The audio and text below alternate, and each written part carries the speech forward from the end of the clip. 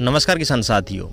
आज की इस वीडियो में आप किसानों से दो जो सवाल है वो साझे करने हैं, आप अपनी जित जो भी राय हो, आप कमेंट के माध्यम से दे सकते हो। पहला जो सवाल है वो है मौसम से रिलेटेड यानी कि इस वर्ष जो टम्परेचर है, वो आप सभी को पता है काफ़ी ज़्यादा रहा है, और बारिश हुआ है, वो ना के बराबर देखने को मिली है। वहीं पर अगर धान वाले किसानों की बात करें तो काफ़ी माड़े जो हालात है वो बने हुए हैं।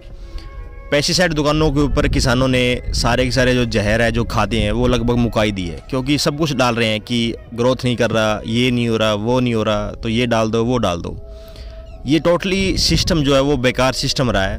पहले भी वीडियो डाल चुके हैं कि जब तक मौसम साथ नहीं देता है, फ़सल की जो पैदावार है, वो नहीं होती। इस बात को आप बाकायदा लिख के लिख लो स्टाम के ऊपर कि मौसम से ही डिपेंड रहता है, जितनी भी पैदावार वगैरह होती है।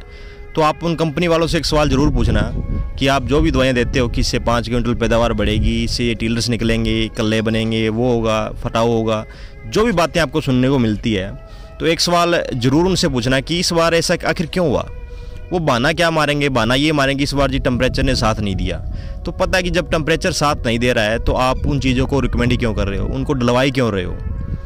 दूसरा सवाल ये आता है कि काफ़ी एरिया के अंदर जो खेती है, वो बारिश के ऊपर डिपेंड रहती है।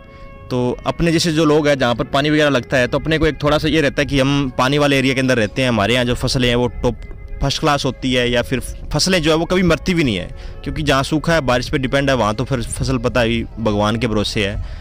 इस बार जो पानी वाले एरिया हैं ट्यूबवेल्स वगैरह जो नहरों का पानी लगता है, उनके भी जो है, वो हाथ खड़े हो चुके हैं। तो ये जो पानी वाला डिंडोरा है, मेरे हिसाब से ये भी काम नहीं आने वाला।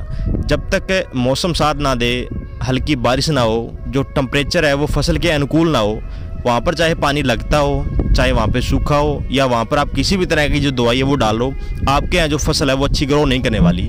तो इन दोनों जो सवाल है, इसके ऊपर आपकी क्या जो प्रतिक्रिया है, कृपया करके आप कमेंट ज़रूर करें। धन्यवाद।